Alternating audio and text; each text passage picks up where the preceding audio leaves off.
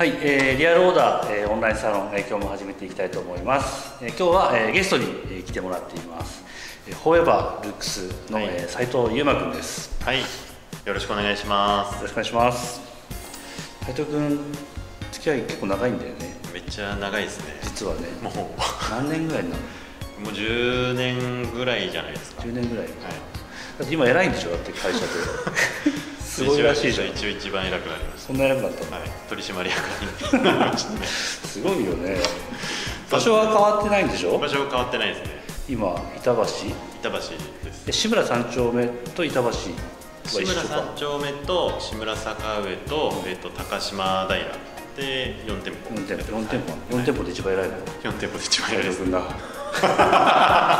そういうこと言ってたらあれだもんね大丈夫です。そうそうそう。すごいよね。ねい。やおかげさまで。うん。調子いいんでしょ？だって3店舗。あ、まあまあ調子いいですよ全部。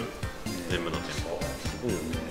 あでもなんか板橋でずっとやってたけどそう僕最初のサロン青山だったんで、その青山のサロンに負けないお店を板橋から作りたいなって思ってて、で板橋でやってるけど、まあ青山原宿よりも売り上げも作れてで青山原宿でやってるようなことも全部板橋のお店でできれば、うん。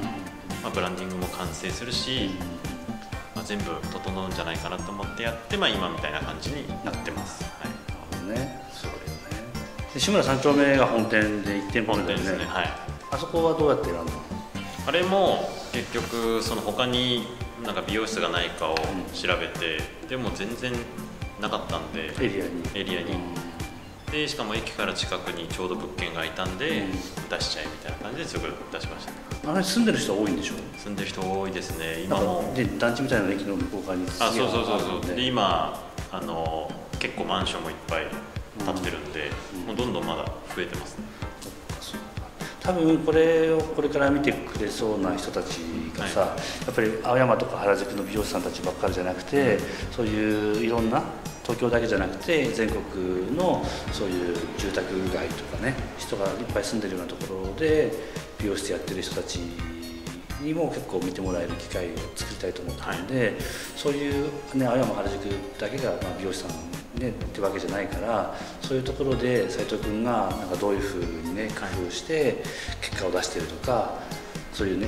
いろんな人のなんかヒントになるような、はい。うん話がぜひ聞けたらいいなって思って、ちょっとゲストに来てもらってるんで、ありがとうございます。ちょっといろいろお話をこれからはい。斉藤君にしてってもらいたいと思ってるんですけど、はい。でも